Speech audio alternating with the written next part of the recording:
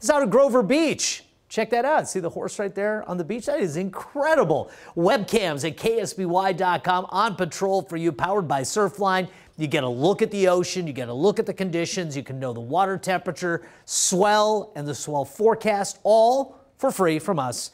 Go over to ksby.com and check it out. And if you're online, why not send in a picture? So many great pictures this week and storm reports. I appreciate all of them. Karen's view of some of the ocean waves out there today like that. Cecil Horton up in North County just showing us some of the greenery after the recent rainfall. And Mark Ray showing us a duck on the pond. I like that. Be on KSBY.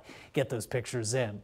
Temperatures right now pretty mild. 53 in San Luis, 56 Santa Maria and Santa Barbara. We have 49 for us in Paso Robles and 51 in Lompoc. The winds currently under 10 miles per hour. Not that bad. So fairly light wind forecast as well. Daytime highs today, though clearly we're behind a cold front, so a lot of temperatures topped out right around 60 degrees, which is shy of average. Santa Barbara did get to 64 degrees today, but you can see a lot of folks just struggling in the 50s. Morning lows were cool. Frozen San Luis and Paso this morning and Cuyama as well.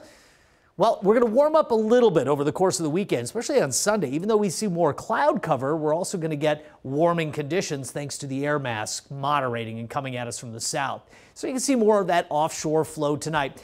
I do think we have another round of localized areas of dense cloud cover, low cloud cover and fog in wind sheltered interior valleys. You can see those winds pushing offshore as we get into Sunday morning as well. But high clouds start pushing into the area. With all that cloud cover, you might think, well, temperatures stay on the cool side, but we could reach 70 degrees on Sunday. Now, there isn't rain opportunity as we get into Monday and Tuesday, late Monday into Tuesday. Models kind of disagree on the timing, but I think it's a Northern California storm more than locally. We could see a little bit of rainfall, but under a tenth of an inch if it rains.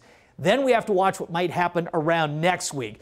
This is another Northern California storm. It is a lot of snow for the Sierra Nevada. Locally, a better opportunity for rainfall here. So let's take a look at rainfall amounts projected. So Tuesday, again, tenth of an inch or under, but if we get out to that Sunday event, it's something to watch. It's a half inch to maybe even an inch of rain locally, so we'll have to watch that pretty carefully.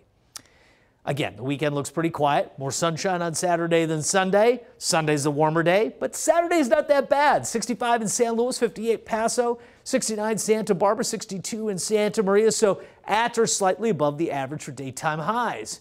59 in Cuyama, 64 Santa Ynez and Solvang. You'll note freezing conditions tonight in Cuyama and also the Santa Ynez Valley. In the five cities, lower 60s for daytime highs. Again, that offshore flow will dry out the air a little bit. Again, we're looking at areas of potential cloud cover and fog in the interior valleys late overnight and early in the morning. Here's a look at the five day forecast. Again, that rain could either be on Monday or Tuesday. Kind of depends which model you want to go with, but you can see it stays pretty mild in the extended forecast here. Paso Robles and North County conditions stay around the upper 50s and low 60s. San Luis Obispo temperatures, again, could reach 70 on Sunday.